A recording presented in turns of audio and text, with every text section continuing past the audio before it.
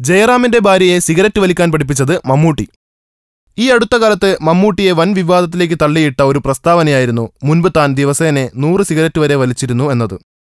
എന്നാൽ സോഷ്യൽ മീഡിയകളിൽ അത് മമ്മൂട്ടിയുടെ വെറും തള്ളലായിരുന്നു എന്ന മട്ടിൽ കമന്റുകൾ വന്നിരുന്നു. എന്തൊക്കെ പറഞ്ഞാലും ഒരു കാലത്ത് മമ്മൂട്ടി വളരെയധികം സിഗരറ്റുകൾ പുകച്ചു തള്ളിയിരുന്നു എന്നത് ഒരു സത്യമാണ്. എന്നാൽ മമ്മൂട്ടി സിഗരറ്റ് വലിക്കാൻ പഠിപ്പിച്ച ഒരു നടിയുണ്ട്. അത് നമ്മുടെ ജയറാമിന്റെ ഭാര്യയും മുൻ സൂപ്പർ നായികയുമായ പാർവതിയാണ്. മമ്മൂട്ടി നായകനായി സുവർണ പാർവതി എന്നിവർ അഭിനയിച്ച സിനിമയായിരുന്നു പവിത്രൻ സംവിധാനം ചെയ്ത ഉത്തരം. ഈ സിനിമയിൽ പാർവതിയും സുവർണയും ഒരു ആഘോഷത്തിനിടയിൽ കഞ്ചാവ് വലിക്കുന്ന സീനുണ്ടായിരുന്നു. എന്നാൽ ഈ സീനിൽ എത്ര ശ്രമിച്ചിട്ടും പാർവതിക്ക് സിഗരറ്റിന്റെ പുക എടുക്കാൻ സാധിച്ചില്ല.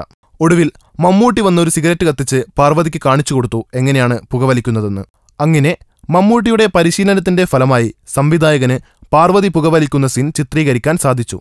Film court.